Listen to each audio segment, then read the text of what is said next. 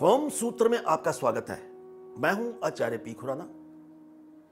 कभी कभी आपको ऐसा लगता है, कोई व्यक्ति आपके घर में आया, एक भ्रम पैदा कर गया कि जी आपके घर में बरकत नहीं है, कहीं ना कहीं आपकी तजोरी की जो दिशा है, वो कहीं ना कहीं गलत है। बिल्कुल मत घबराइए, आप क्या करेंगे बात सुनिए। जहाँ भी आपकी तिजोरी पड़ी हो, चाहे लकड़ी की है या वैसे है, या जहाँ भी आप अपने घर में धन रखते हैं, ऐसी स्थिति में आप क्या करेंगे?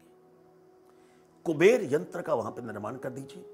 अब कभी कभी ऐसी बात आती है कि कुबेर यंत्र क्या होता है? दिमाग पे बोझ मत डालिए। आप क्या करेंगे? सुनिए।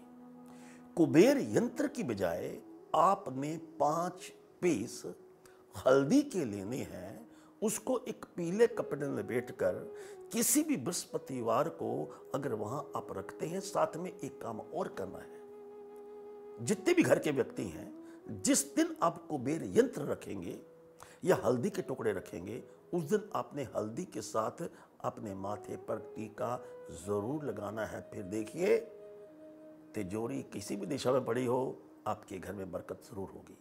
All the best